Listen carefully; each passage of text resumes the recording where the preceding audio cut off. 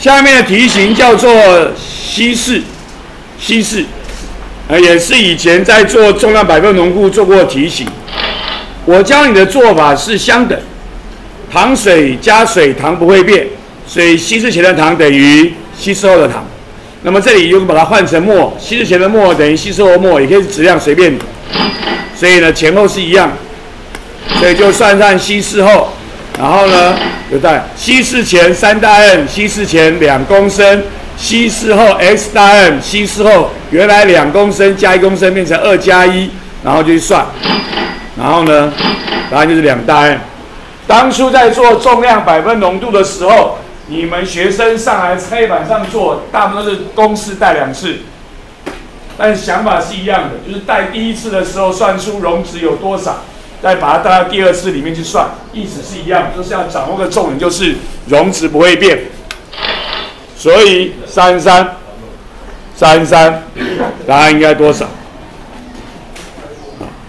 两大的硫酸八百毫升加一千二，有多少？有一些少数同学数学超好的，用眼睛看，随便用笔的方法比比，答案就出来了。如果你这么数学这么好，我没有意见。如果你数学没有这么好，你就给我好好算。好，你数学没那么好，你就给我好好算。请问你我还追嘞？这个叫做零后史。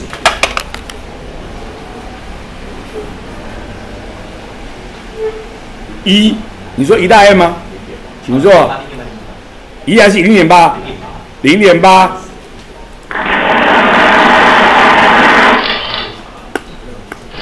我们讲过，我教你的做法是稀释前等于稀释后，末数一样，也可以说质量一样，看你要怎么带都可以。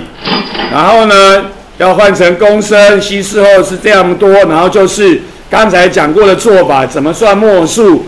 末浓度乘以溶液体积，体积公升做单位，所以呢就乘。左边是稀释前，右边稀释后，有认真努力算，答案就零点八，就做出来了。三四题变成倒过来说，你要加水加多少？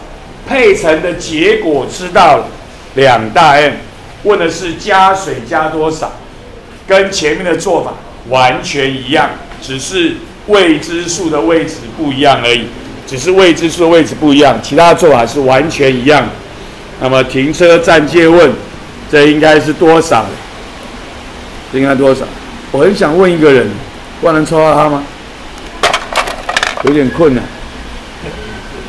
林玉威，我想说的是陈真啊。啊？零点五？零点五什么？零点五公升还是零点五毫升？还是零点五什么？零点五公升，五百毫升。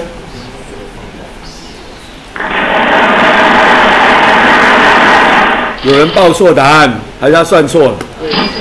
稀释前等于稀释后，我们算的是沫一样，然后要加水 S 公升，然后呢，我们的沫就是沫浓度乘以溶液体积，所以稀释前五大 n 体积零点六零点二。稀释后两大案体积是零点二加 x，然后剩下就剩下就是认真努力算数学，答案叫零点三公升，所以答案零点三就要做稀释的题型，也是以前在做重量百分浓度就做过题型，当初告诉你过，我教你的做法叫做稀释前等于稀释后就可以算出来了，这就是有关于稀释的题目，OK。